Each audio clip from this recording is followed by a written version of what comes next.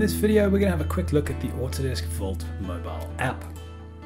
So first off, the app is available for iOS devices, being iPads and iPhones, not currently available for the Android platform. There's a few things you need to know. The first thing is when connecting, you want to use the server's IP address. Uh, you'll connect faster and you'll have less issues with it. If you're using the app externally, so outside of your company, you're going to need a VPN for external access, and that's because this works just like Vault. To get to your Vault client, you need VPN access. It's currently compatible with Vault Professional 2019, 2020, and 2021. It's not compatible with any other version, so if you're running Vault Workgroup or Vault Basic, this app's not for you. Cost.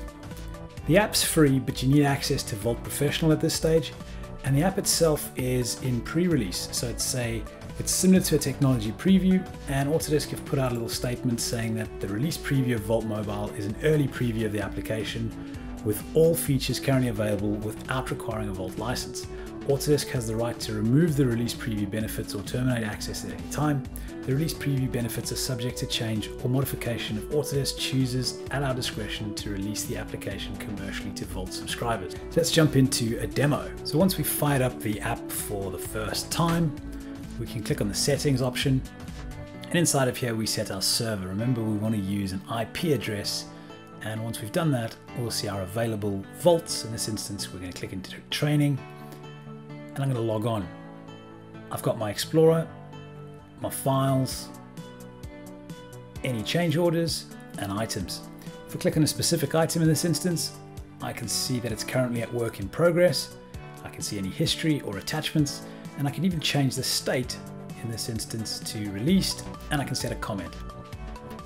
Once I've done that, pop over to the history, and we'll even be able to see the change that we've just made. Moving along, we can go and look at files from our Explorer and I can do previews. So here I've got a preview of the file. I can spin it around using the large model viewer and from there we can go back to the properties of this component. I can see its history, I can see its users, I can see its where used, and I can even do things like change its state or add it to a change order. So there you have it, the Vault mobile app we hope that you enjoyed this video.